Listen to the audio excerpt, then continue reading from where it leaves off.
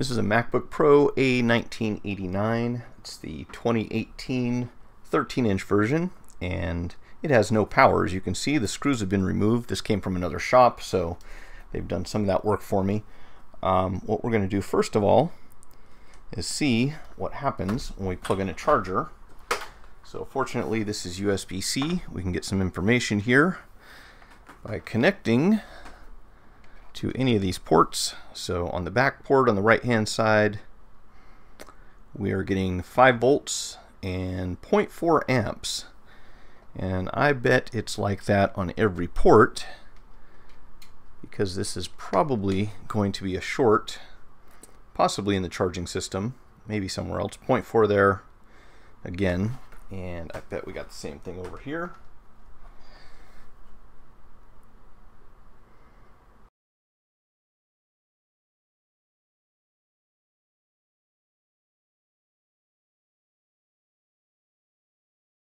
We'll take a look down inside these and then we'll pull the back panel off and see if anything makes itself apparent.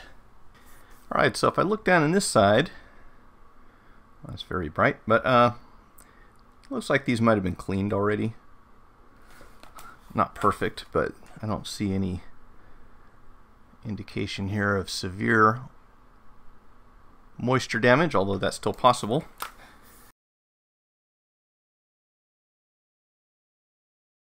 Okay, so I don't think this has been fully disassembled before, at least it doesn't look like it. Alright, let's go ahead and get this plugged in and we are going to take a look at F7000 and that's where we can find our ppbus underscore G3H. Alright, let's get the meter so we can see what's going on here.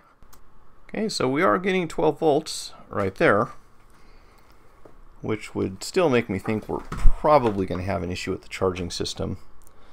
Alright, so looking into the microscope, over on the right hand side, which would be the left, if I flip this thing open, everything looks pretty clean.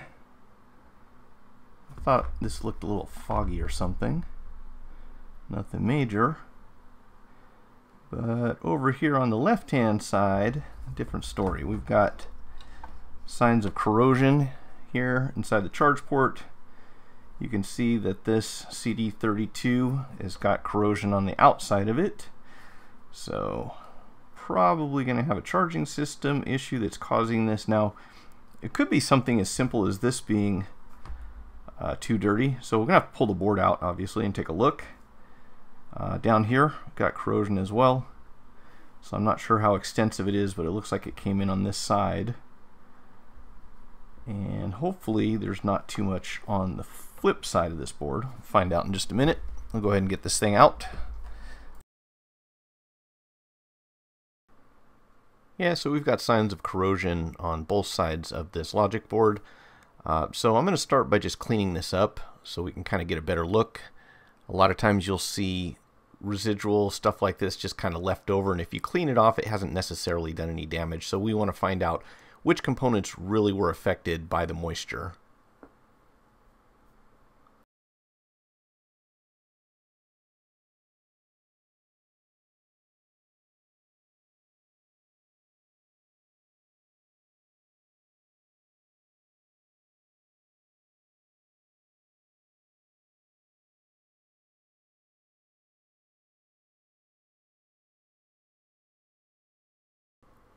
I started out by probing some suspicious looking components on the board and it turns out this area right here has developed a short on PP3B3 underscore G3H underscore RTC.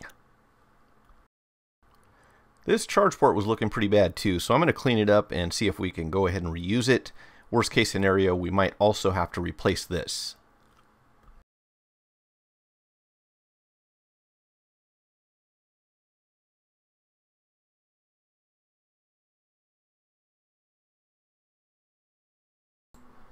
Alright, here is our suspicious looking capacitor. I'm going to put some freeze spray on here and then plug in the charger. Just for demonstration purposes. And that's going to be trickier than I thought. Let's try that again.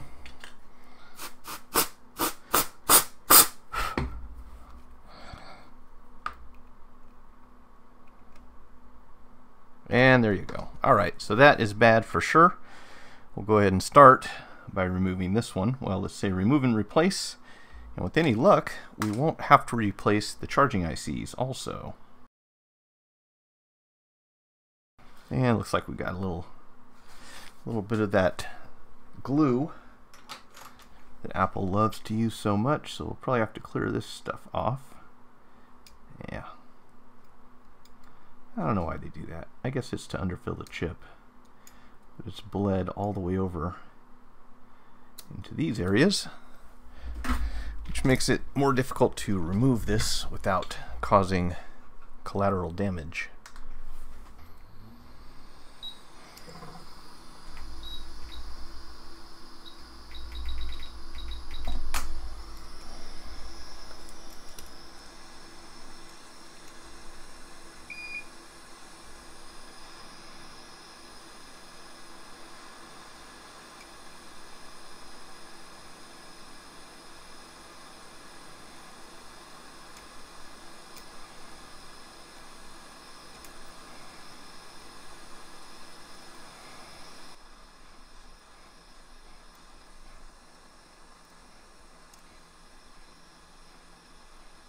Alright, if I went too far there, we'll put some uh, solder mask on it. See if the tweezers can reach down in here with the help of some leaded solder. And possibly some air.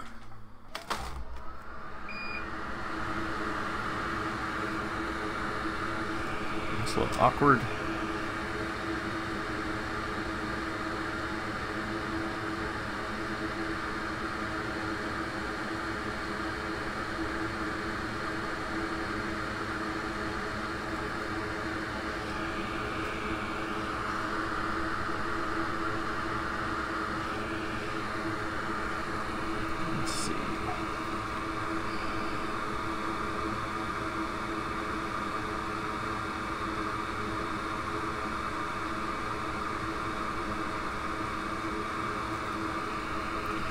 Yeah, we're to need more heat.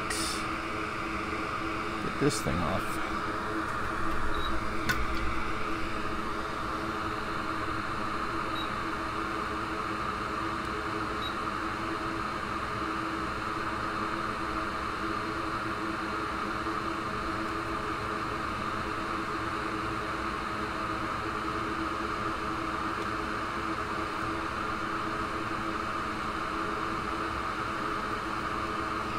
All right.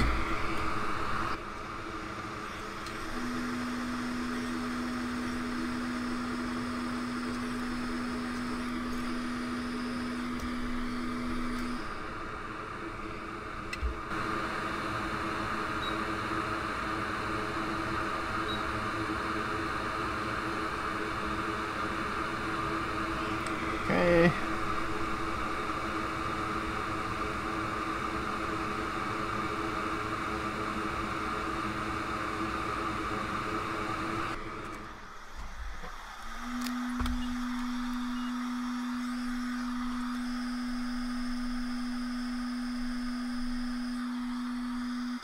Okay, I wanted the hot air to shut down so we could hear. Got the multi multimeter in continuity mode, and I think that side should not beep, and it doesn't. Okay, so we are, let's see what the diode number says. Okay, so we're now at 0.3, so that's good. Now, this is not looking too good either, this capacitor, so I will most likely go back and replace that. But for now, um, actually we'll replace those two at the same time, I think, because they are right next to each other. And let's see what the values are on those. So we are looking at CB300, that is 10 microfarad, uh, 6.3 volt, 0402, and then the one right next to it, I think, uh, the one right next to it is going to be CB308. And where is CB308 on my schematics? Second one is also 10 microfarad, 6.3 volts, 0402. So these two caps are the same value. The one that was here was bad for sure. This one looks like uh, it will be bad soon enough. So I'm going to go ahead and replace that. I think that this one right here probably, oh, this one will also need to go.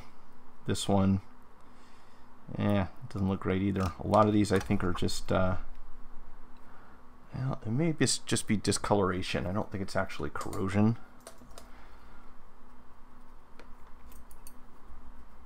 So these may not necessarily be bad. Yeah, I think they just got some crap on the outside of them. So we can, I'll reflow that with some solder later on. If those shine up a little better, we'll probably leave them.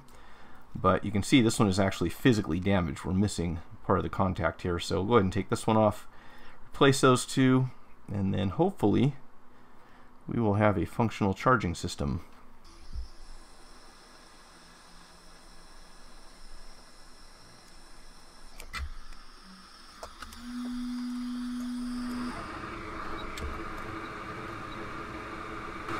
It's a bit of an awkward angle. Let's flip this thing around.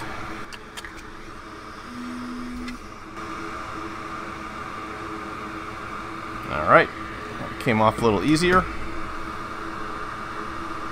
Blow that lead on there. Get the rest of this crap off.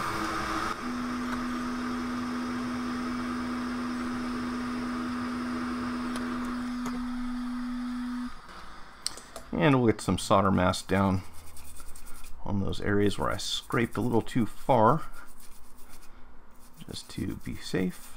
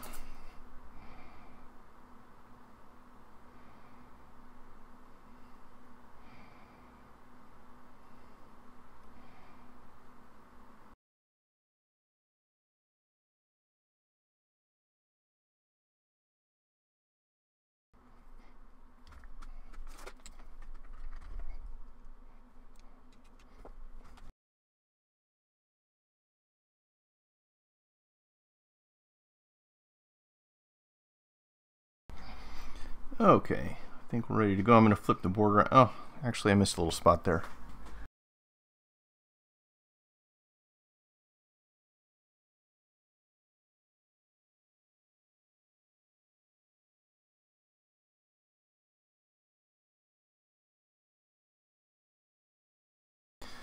Okay, I think we are ready.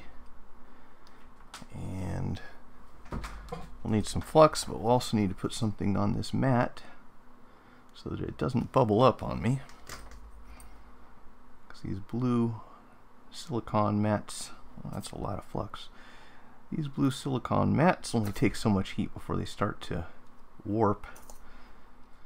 Okay, I think that'll work. We're actually elevated, so that's fine. Couple of caps.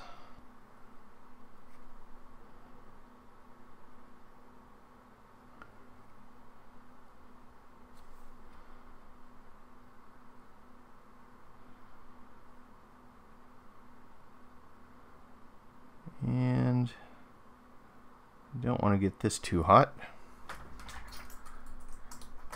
So I'm going to cover this up a little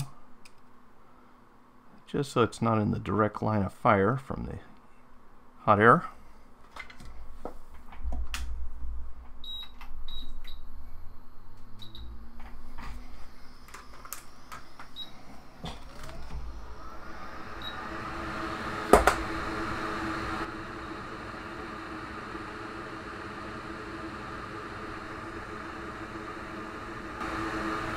I didn't know that was open. Get out here.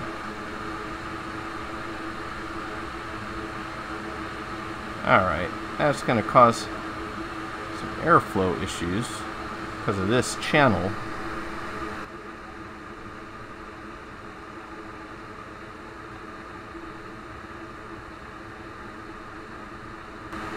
Alright.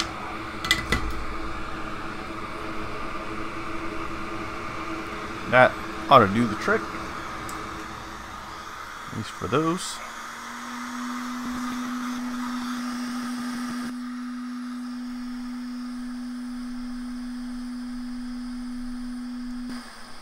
And I just noticed something. Are we missing... Are we missing something right here? I think we might be. I think this right here used to be something.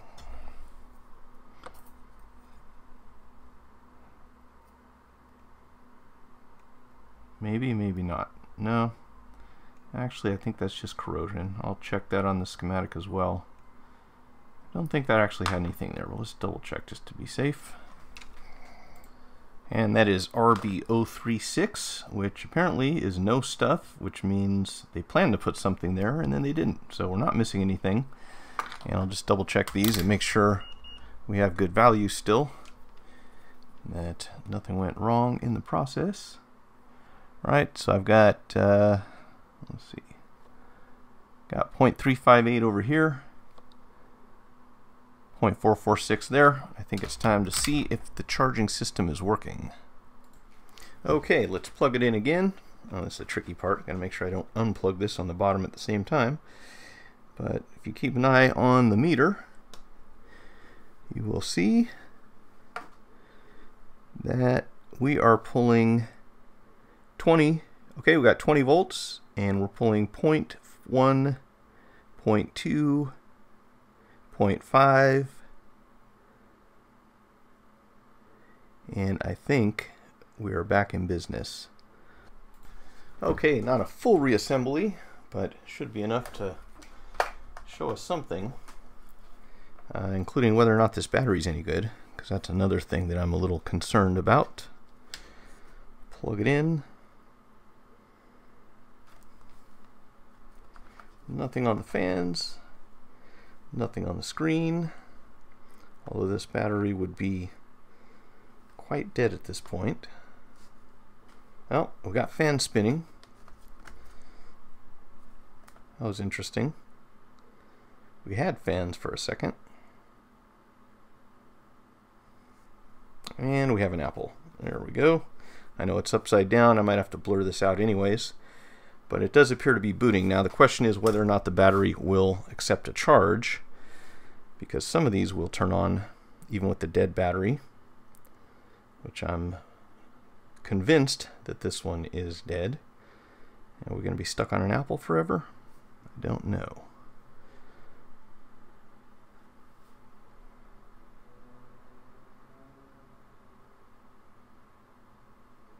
One thing's for sure, we need to clean this screen up. Oh, there we go. Looks like we booted. And we are not charging the battery. So I believe this battery will need to be replaced. But we have signs of life. And uh, we'll have to order a battery now. So I'm going to leave this just for the heck of it. I, I really don't think that it's going to improve. Let's see. I don't think this will improve. I think the battery is shot. It's pretty common with liquid damage but uh, we shall find out.